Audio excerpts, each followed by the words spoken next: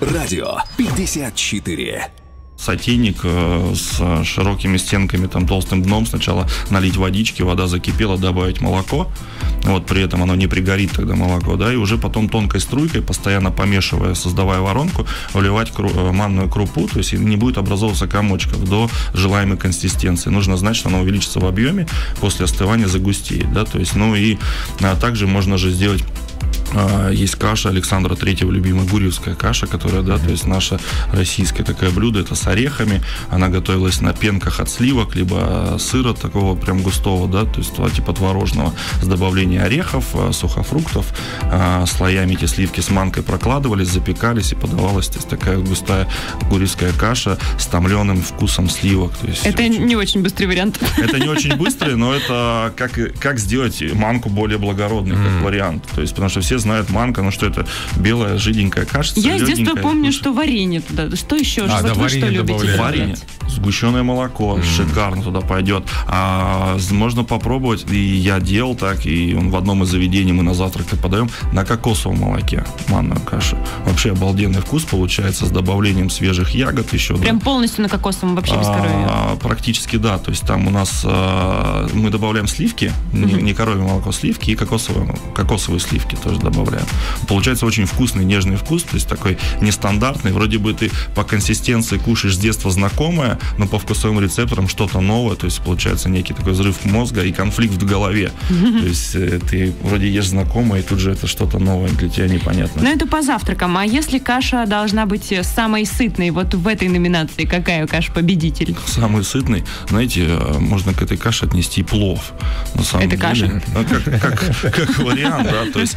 А, это все-таки гарнир. Греча. Греча, греча, естественно, то есть у нас же каша это как не бы... знаю, я когда на диете сижу, особо, знаете, гречкой не наедаюсь, честно говоря.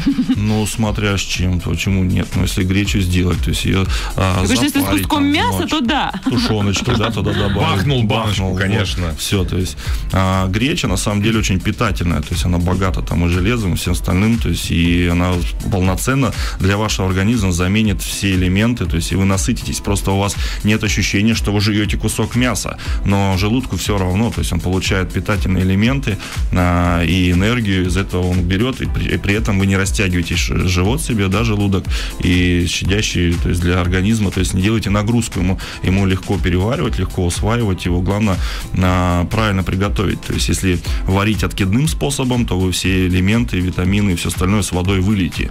Если вы варить основным способом, когда вы добавляете определенное количество жидкости, чтобы она выпарилась и э, крупа достигла желаемого ну, то есть консистенции, то все вещества, они э, по минимуму летучиваются с парами и по максимуму остаются, то есть в самом продукте. Вот у меня так получается в мультиварке. Вода вся выпаривается, остается только каша. Но это не у вас, это в мультиварке получается. Ладно, ладно. Спасибо. Раскусили меня. Ну, то есть вот это самое полезное получается. Конечно. То есть если взять... Э, Маслица тут добавить что? что, добавлять Маслица в финале можно добавить, чтобы смягчило маленько структуру, добавил сливочной основы, то есть и все-таки не было такой как бы сухой, да, потому что греча, если а, не. Э, жидкости недобор, то есть она будет сухая, колькая, то есть ей не будет некомфортно кушать, да. Молока. Молока, как вариант, ну, желательно там его, ну, Это вообще до тоже кипения. с детства блюдо такое, вот. прям суп да, да, да, из гречи с молоком. Да, да, я, да, еще, есть... я еще сахаром посыпал. Вот, да. На самом деле тут можно просто взять даже банально печенье, сахарное печенье, и в финале покрошить туда и оно да? даст тоже вот какое-нибудь там топленое молоко, печенье покрошите, у вас получится эффект, Серьезно? то есть еще привкус. Гречка с печеньем? А почему нет? Попробуйте. Класс. Для меня главное, чтобы был вот такой кусман масла. Бах туда. Вот масло вообще в кашах, оно только для гречки хорошо? Или во все каши нужно ну, масло добавлять? Ну, И когда? Во время готовки или вот в тарелку прям шмат? Как Саша любит. В тарелку шмат. В тарелку шмат это хорошо, конечно, да. Ну а потом еще кашей засыпали. Нет, вообще в после финале приготовления лучше, когда вы делаете в котелке, поставить там еще в печь, там его подтомиться, сверху положить кусочек масла, прикрыть, чтобы он а, пропитался да? до самого дна а, посуды запекаемой там в этой, и тогда будет более богатый, благородный вкус. В тарелке, ну вы размешаете, но у вас получится на дне немножко сливочное масло будет все-таки плавать, потому что крупа не успеет себя его впитать. То есть есть, Надо, чтобы потомилось. Естественно, это лучше. Твой дом, твоя область. Новосибирск, 106 и 2 FM.